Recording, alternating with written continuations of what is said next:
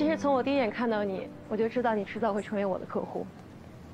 依附型婚姻，自身受教育程度良好，男方事业有成，结婚多年，双方貌合神离。其实这几年我接的案子有一半属于你这样的。进，坐吧。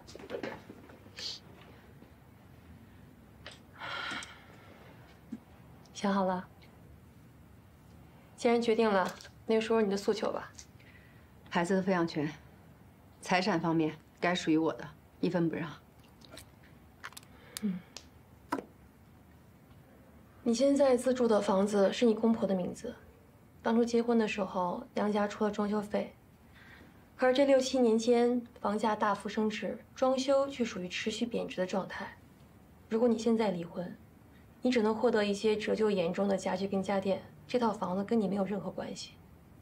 婚后财产呢，理论上是属于夫妻双方共有的，但如你所说，你丈夫已经把共有财产转化成私有财产，当然，这需要我们花时间去举证。另外，除了有形资产，婚姻中还有无形资产。无形资产，那这个指的是？一个人在社会上想实现财富、地位、名声等因素的自身价值，在婚姻中，个人想取得这种无形资产，并不仅仅可以依靠自身的力量，还要靠配偶在家庭劳务中的付出。虽然现在法律上已经承认家务劳动的价值，可是，在具体判决当中，赔偿金额往往不尽如人意。所以，财产方面，目前已知的信息，对你是很不利的。那孩子呢？孩子抚养权呢？考虑孩子抚养权的原则是看谁对孩子的成长条件更有利，而出轨并不是法律认定几种不适合抚养孩子的情况。换句话说，如果魏明能够证明他可以给孩子提供更好的成长条件，也是有可能获得抚养权的。其实，现在根据你的情况，你已经有四五年没有收入了，孩子判给男方的可能性不是没有。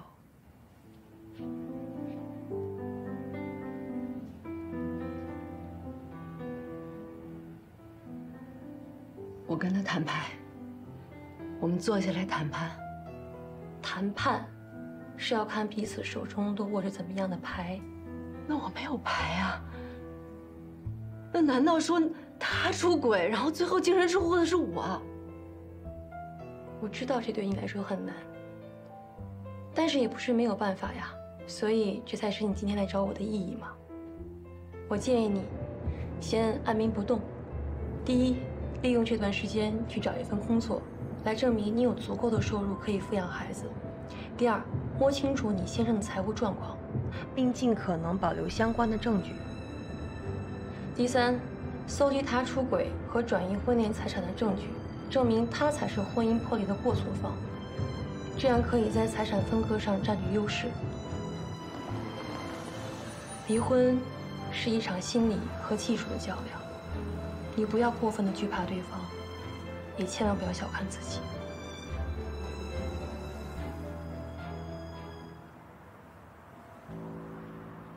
为什么？外派的机会非常难得，通常外派之后就会被晋升。况且你无论到任何一家公司，这次的经历一定会是你职业生涯中的重要背书。为什么要放弃？因为我的人生有了一件值得我全力以赴去做的事情。我有了孩子。当我抱起他的时候，我感觉好像这个世界的其他颜色都变得暗淡了。我愿意为了这个小家做出这个选择。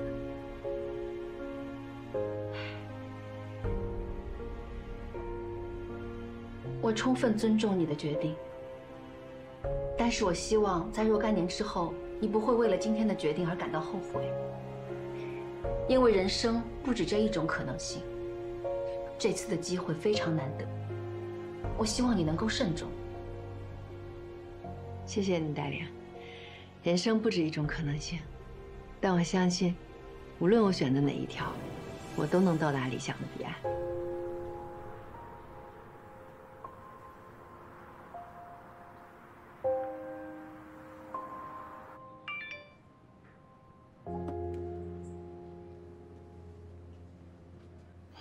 空吗？咱们见个面，聊聊魏民。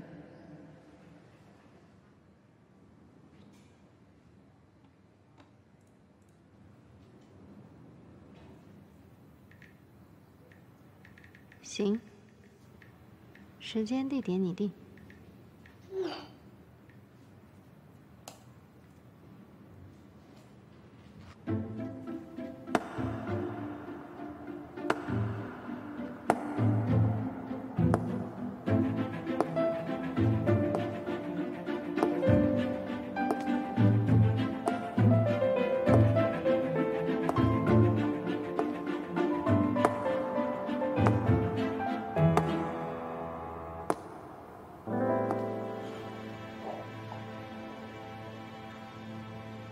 的咖啡。被吓到了。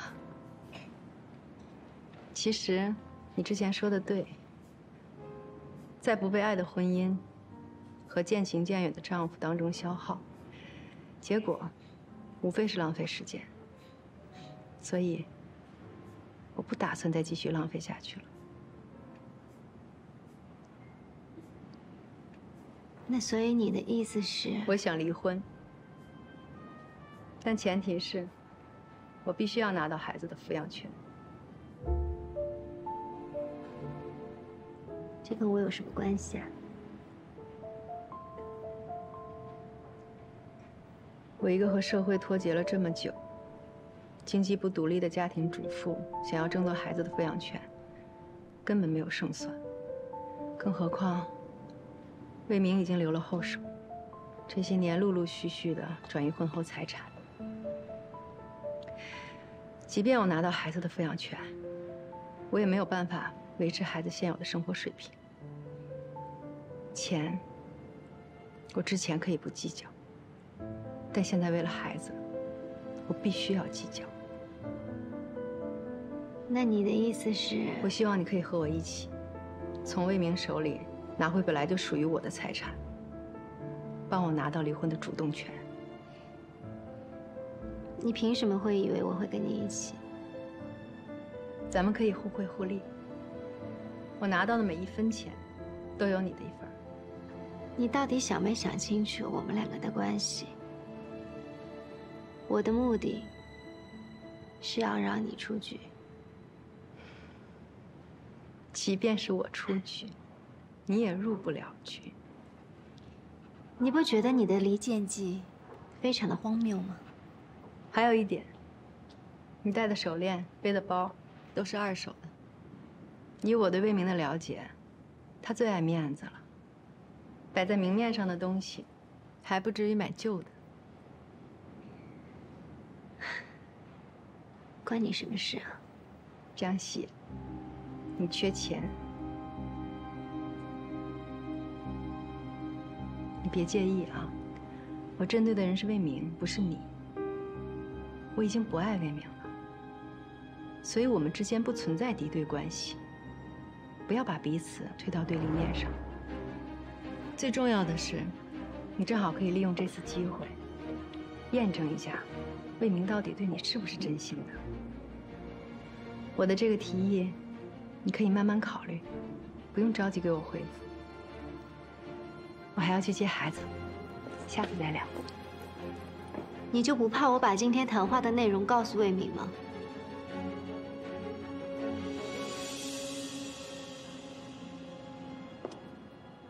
要是没有十足的把握，我也不可能来找你。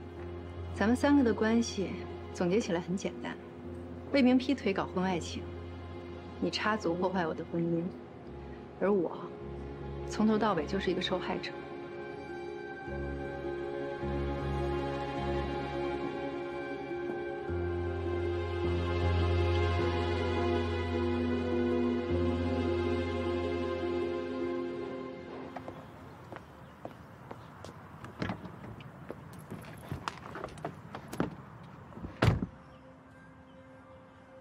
你不觉得你的离间计非常的荒谬吗？你到底想没想清楚我们两个的关系？我的目的是要让你出局。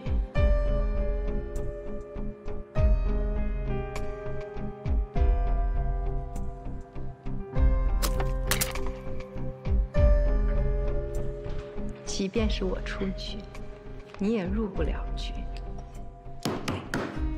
上班时间，这边汇报，明天会上要用。知道了。魏总，嗯，我这有两份文件要找您签个字。一会儿拿我办公室。真要是撕破脸的话，你跟魏明于情于理都讨不到便宜，更何况你对魏明的感情也没那么自信吧？真要是出了事儿，他未必会站在你这边。